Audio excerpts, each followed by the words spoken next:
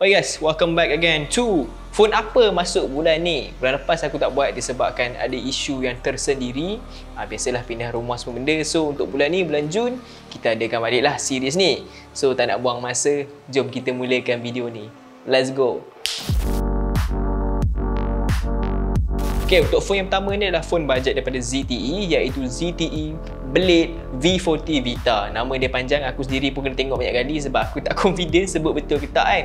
So, untuk harga dia, dia dijual dengan harga RM599 atau RM600 sahaja untuk variant 4GB RAM dengan 128GB storan. Dia hanya ada satu variant. So, itu harga dia lah. Very, very cheap lah untuk phone bajet dengan spesifikasi yang ditawarkan ni. Untuk spesifikasi yang ditawarkan, ia menggunakan Unisoc T606 menggunakan skrin berukuran 6.75 inci jenis IPS LCD dengan 90Hz refresh rate. Untuk bateri yang menggunakan bateri sebesar 6000 mAh dengan 22.5 watt fast charging. Untuk kamera pula ia menggunakan 48 megapixel kamera utama, 2 megapixel depth sensor, 2 megapixel macro dan 8 megapixel selfie kamera. Untuk phone yang kedua pula adalah Infinix Note 12 G96 punya version. Untuk harga ia dijual dengan dua variant iaitu 8GB RAM dengan 128GB storan dengan harga RM769 8GB RAM dengan 256GB storan dengan harga RM869 Untuk spesifikasi yang ditawarkan ia menggunakan MediaTek Helio G96 chipset yang quite powerful jugalah Lepas tu menggunakan skrin berukuran 6.7 inci jenis AMOLED malang sekali tak ada refresh rate lagi tinggi daripada 60Hz Untuk bateri pula ia menggunakan bateri sebesar 5000 mAh dengan penyokong fast charging 33W dalam kotak. Untuk kamera pula ia menggunakan 50 megapixel kamera utama dan 2 megapixel depth sensor. Untuk selfie ia menggunakan 16 megapixel. So untuk spesifikasi ringkas dia bagi aku ia okey saja tapi tak boleh compare lah dengan Redmi Note 11, Note 11S tu. Dia jauh macam sikit lah ketinggalan dari segi spek kamera dan skrin tu. Ok untuk phone yang ketiga dalam list ni pula adalah phone flagship dan Honor iaitu Honor Magic 4 Pro. Ia dijual dengan satu variant saja dengan harga RM3,999 harganya agak keras untuk variant 8GB RAM dengan 256GB storan untuk spesifikasi ringkas dia, ia menggunakan Snapdragon 8 Gen 1 menggunakan skrin berukuran 6.81 inci jenis LTPO OLED dengan 120Hz refresh rate untuk bateri, ia menggunakan bateri sebesar 4600 mAh dengan penyukungan fast charging 100W dan wireless charging 100W juga. Untuk selebihnya pula, dia ada IP68 rating so korang boleh campak lah phone dalam kolam kalau korang nak lah. Untuk kamera pula, ia menggunakan 50MP kamera utama, 50MP ultra wide, 64MP periscope kamera dengan 3.5 optical zoom dan last sekali 3D TOF sensor untuk portrait dan lain-lain tu. Untuk selfie pula, ia menggunakan 12MP selfie kamera. Bagi aku, Honor Honor Magic 4 Pro ni untuk sebuah phone flagship dia bagus cuma dari segi optimization dia kurang sikit lah daripada apa yang aku test sendiri Honor punya Magic UI 6 ni dia banyak bagi sikit lah disebabkan ni adalah first phone yang pakai software ni So korang kena faham lah kalau korang beli sekarang ni mungkin korang akan encounter bug sedikit lah bila korang guna tu. Okay untuk phone yang seterusnya pula adalah dua phone daripada Black Shark 5 series. Yang pertama adalah Black Shark 5 dan yang kedua Black Shark 5 Pro. Untuk Black Shark 5 ia dijual dengan harga RM2,299 untuk varian 12GB RAM dengan 256GB storan.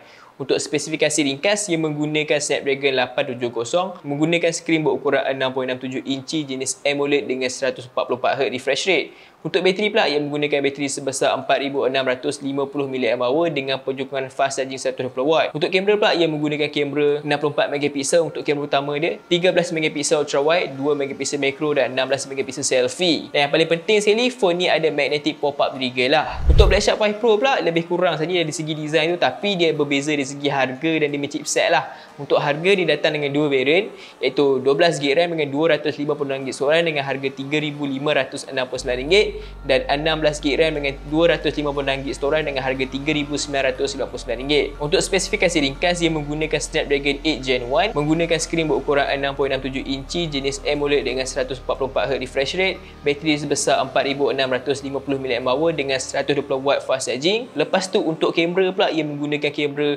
108MP untuk kamera utama, 13MP ultra wide, 5MP telemacro dan 16MP selfie camera. So kepada korang semua yang mungkin tengah mencari phone gaming sekarang ni tak nak tunggu ROG Black Shark 5 Pro ni memang the best way to go lah. Tapi kepada korang semua yang mungkin nak tunggu ROG jangan bimbang. Next month ROG keluar pula. Ha, so stay tune for that lah. Ok untuk phone yang seterusnya pula adalah phone daripada Motorola. Last month aku buat Motorola H30 untuk bulan ni pula aku buat Moto G82 so apa yang special pasal smartphone ni adalah dia punya spek yang hampir sama seperti Redmi Note 11 Pro 5G dan juga Realme 9 Pro Plus tu. Dari segi harga pun dia sama juga. Untuk versi 6GB RAM dengan 128GB storan ia dijual dengan harga RM1199 sama harga juga lah kat sini kan. Lepas tu untuk dia punya chipset pun sama juga iaitu Snapdragon 695 So memang tak ada beza. Cuma apa yang special pasal phone ni Dia pakai stock Android lah. Tak ada MIUI Tak ada Realme UI So lagi smooth lah experience dia.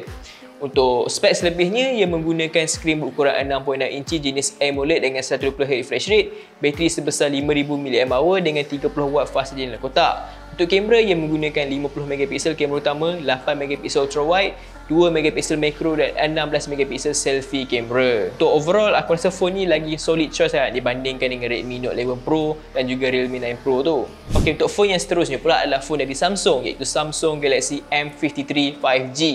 So, apa yang membuatkan phone ni special? Sebab dia dapat potongan harga. Originally phone ni dijual dengan harga RM1999 tapi sekarang dia orang dah drop harga kepada RM1699 untuk variant 8GB RAM dengan 256GB storan. So aku rasa this phone is quite good jugalah kalau nak comparekan dengan phone-phone yang banyak kat pasaran sekarang ni sebab satu dia pakai One UI 4.0 atau 4.1 ikut lah kan yang mana satu sekarang ni. So aku rasa One UI ni pun one the best UI. Harga dia pun aku rasa okey lah kan tapi kalau korang rasa nak go bit higher korang boleh beli juga Samsung Galaxy A53 tapi ni yang paling baru kan. So orang suka benda baru betul tak? Untuk spesifikasi ringkas dia menggunakan MediaTek Dimensity 900 menggunakan skrin berukuran 6.7 inci jenis Super AMOLED Plus dengan 120Hz refresh rate. Untuk bateri yang menggunakan bateri sebesar 5000 mAh dengan 25W fast charging. Untuk kamera pula ia menggunakan kamera 108MP untuk kamera utama dia 8MP ultra wide 2MP dia sensor dan 2MP macro untuk selfie pula ia menggunakan 32MP selfie camera.